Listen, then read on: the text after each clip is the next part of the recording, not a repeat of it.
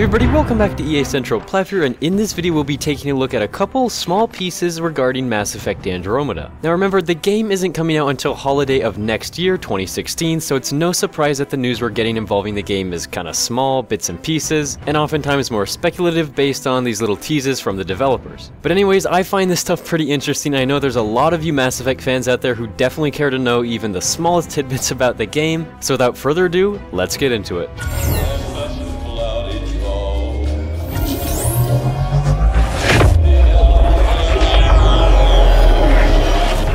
So getting started, both of the topics I'll be talking about today are actually coming from the same Mass Effect developer that supplied the info for my previous Mass Effect Andromeda video. Chris Wynn of BioWare is Mass Effect's Senior Development Director and loves talking about his job in Mass Effect on his Twitter account. Take a look at this. We almost used the same name, that would have been awkward. And then he provides a link to an article that discusses the name of the next Star Trek movie, Star Trek Beyond. So believe it or not, Mass Effect Beyond was one of the front-running options for the fourth Mass Effect's title, which, needless to say, wouldn't have gone over too well with many fans, I think, just because it's kinda cliche and I don't know, sounds kinda lame to me, to be honest. After the video, be sure to leave a comment and let me know what you think of Beyond as a subtitle compared to the actual one. I think I know what the majority of you will say, but who knows, maybe there's some of you out there who wouldn't have minded it being called Beyond, and I want to hear from you. Anyways, moving on to the second piece of this video, as many of you know, Mass Effect 3's ending was disliked by the majority majority of players, and to put it simply, it kind of forced you just to drop yourself off in not a very happy ending place. So when Wynn was questioned about if the next Mass Effect will have a happier and better ending, he replied in a very optimistic way that points to BioWare certainly aiming to make it that way, saying we will do what we can.